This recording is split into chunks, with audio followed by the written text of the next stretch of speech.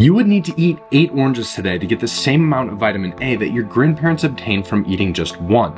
This is because our agricultural practices focus on improving size, yield, and pest resistance rather than nutritional content. This 49 year study found declines in protein, calcium, phosphorus, iron, and vitamin C across 43 fruits and vegetables. And from 1975 to 1997, 12 other vegetables experienced a 27% decline in calcium, 37% in iron, 21% in vitamin A, and 30% in vitamin C. Another 50 year study with 20 different vegetables had similar findings.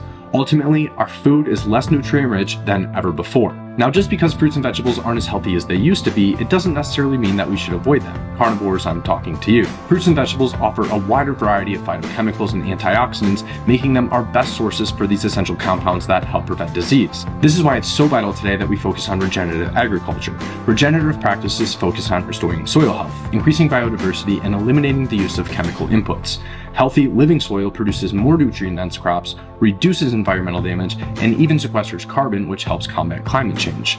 By choosing food organically grown from regenerative farms, you're not only supporting practices that rebuild the nutrient cycle, but you're also ensuring better food for you and for future generations. Every bite you take is a vote for our food system. The more often we can do this, the sooner our food will be what it once was rich in nutrients, free of chemicals, and full of vitality.